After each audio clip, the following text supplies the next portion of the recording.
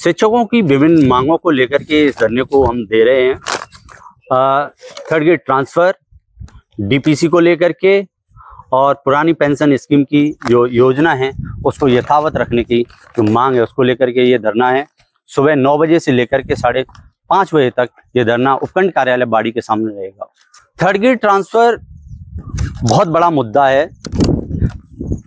राजस्थान शिक्षक संघ एकीकृत ने थर्ड ग्रेड ट्रांसफ़र को लेकर के बहुत आंदोलन किए। स्मारक से लेकर के सड़कों पर आंदोलन किए, लेकिन सरकार ने मानी नहीं। पिछली जो कांग्रेस सरकार थी, उसमें उसमें भी कई बार धरने दिए गए थे।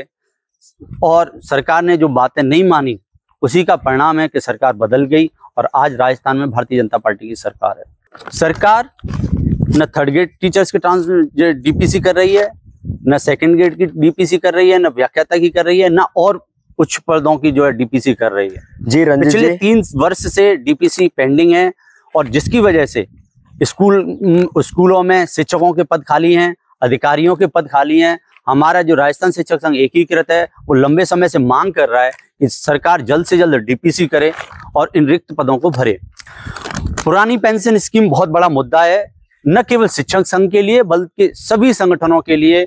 सभी कर्मचारियों के लिए, न केवल राजस्थान के लिए, ये पूरे देश भर का मामला है। और विशेषकर राजस्थान के लिए ये बहुत बड़ा मामला है। राजस्थान में गहलोत सरकार ने पुरानी पेंशन स्कीम दे तो दी है, लेकिन अब चूँकि भारतीय जनता पार्टी की सरकार राजस्थान में आ गई है तो अब पुरानी पेंशन स्कीम को जो लेकर के जो कर्मचारी हैं, वो अदर झूल में हैं, क्योंकि भारतीय जनता पार्टी ने ये कहा है उन, उसकी सरकार ने यह कहा है कि सरकार जो है आंध्र प्रदेश मॉडल लागू करेगी।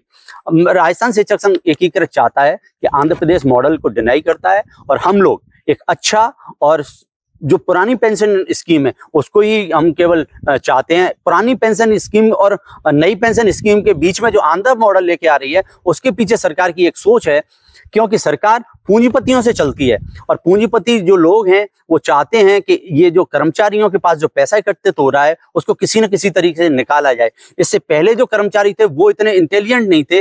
वो पैसों की जो है, जिस तरीके से बिजनेसमैन उनसे पैसे खींच लेते थे सेविंग करवा लेते थे, सरकार उनसे पैसा खींच लेती थी सेविंग करवा लेती थी। अब कर्मचारी अपने पैसों का उपयोग कर रहे हैं और ये बात बिजनेसमैन को चुभ रही है और यही बात सरकार को चुभ रही है।